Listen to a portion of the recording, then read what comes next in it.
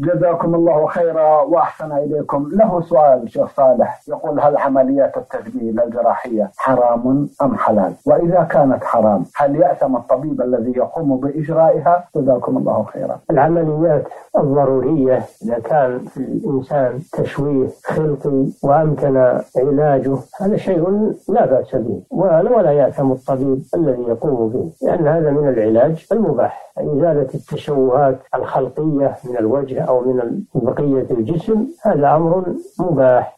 ولا حرج فيه أنه من التداوي المباح أما التجميل الذي لا داعي إليه وإنما هو من التكلف فهذا لا يجوز ولم يقوم به فإنه يكره له ذلك أو يأثم